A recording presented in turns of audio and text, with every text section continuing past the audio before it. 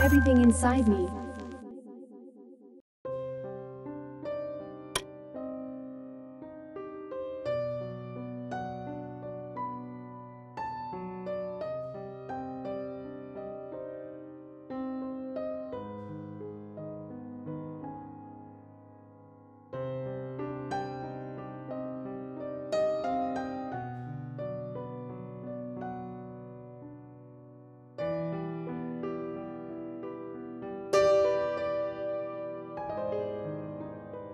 Surveillance is both a technological and a legal problem. Technological solutions are often things we can do ourselves. We can use various privacy and anonymity technologies to protect our data and identities. These are effective, but can be thwarted by secret government orders. We need to fight the political battle as well. Political solutions require group effort, but are generally limited to specific countries. Technological solutions have the potential to be global. If Microsoft designs its Windows operating system with ubiquitous file encryption, or if the Internet Engineering Task Force decides that all internet traffic will be encrypted by default, then those changes will affect everyone in the world who uses those products and protocols. The point is that politics can undermine technology, and also that technology can undermine politics. Neither trumps the other. If we are going to fix things, we need to fight on both the technological and political fronts.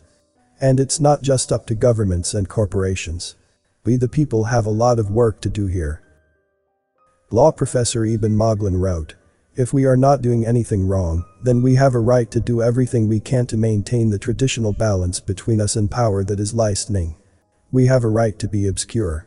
We have a right to mumble. We have a right to speak languages they do not get. We have a right to meet when and where and how we please. If a police officer sits down within earshot, it's within your rights to move your conversation someplace else. If the FBI parks a van bristling with cameras outside your house, you are perfectly justified in closing your blinds. Likewise, there are many ways we personally can protect our data and defend ourselves against surveillance. I'm going to break them down into categories. Before I continue the video, please give a like if you've learned something. And, don't forget to subscribe, and also, click the notification bell too, so you won't miss any update. And, watch to the end to avoid misunderstanding. Thank you.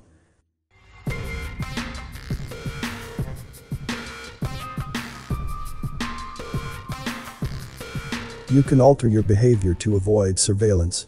You can pay for things in cash instead of using a credit card or deliberately alter your driving route to avoid traffic cameras. You can refrain from creating Facebook pages for your children and tagging photos of them online. You can refrain from using Google Calendar or webmail or cloud backup. You can use DuckDuckGo for internet searches. You can avoid activating automatic surveillance systems by deliberately not tripping their detection algorithms. For example, you can keep your cash transactions under the amounts where the different kinds of financial institutions have to report the transaction to the feds. You can decline to discuss certain topics in email. In China, where automatic surveillance is common, people have started writing messages on paper and then sending photographs of those messages over the internet. It won't help at all against a targeted attack, but it's much harder for automatic systems to monitor such messages. Steganography, hiding messages in otherwise innocuous image files, is a similar technique.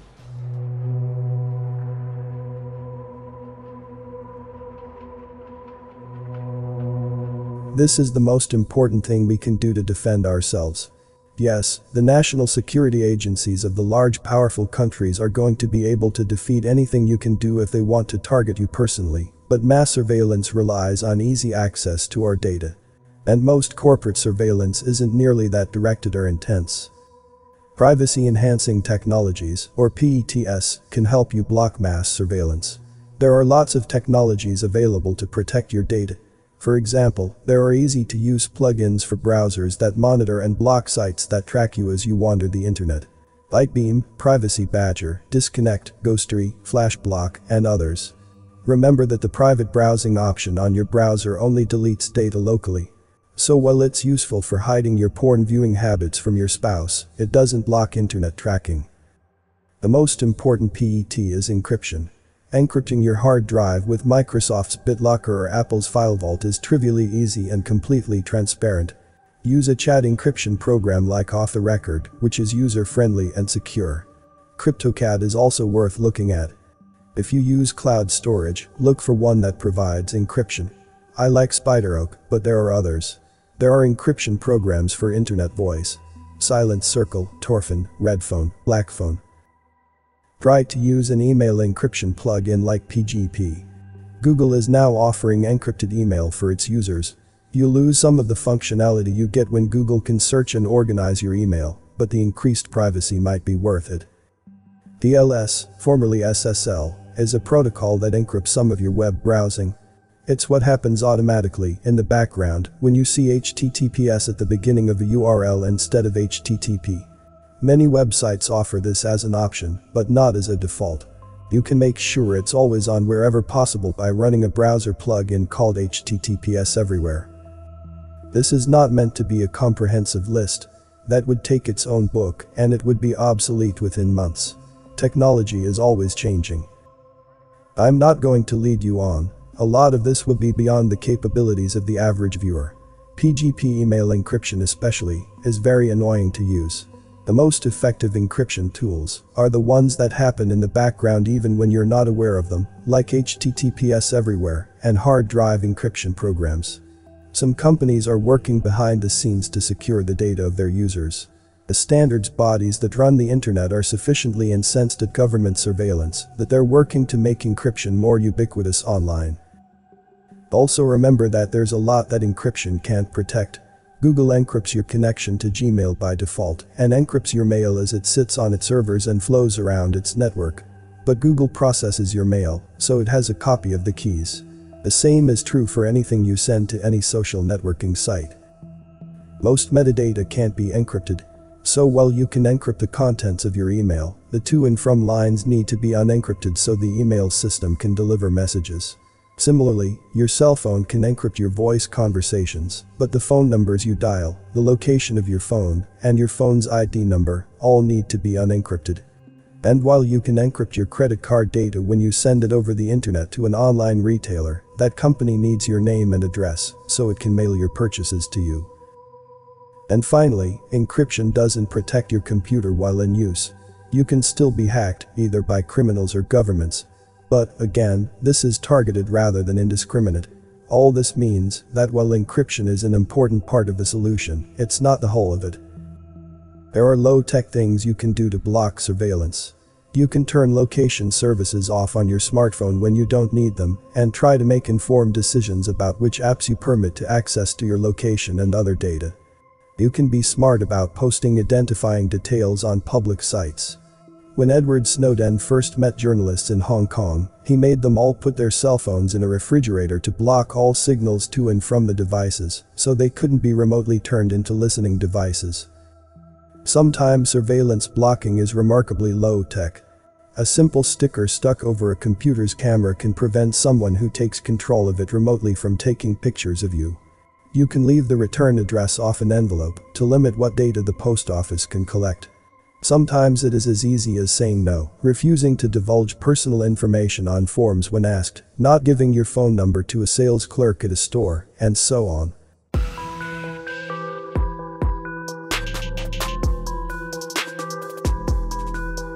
I have my browser configured to delete my cookies every time I close it, which I do multiple times a day.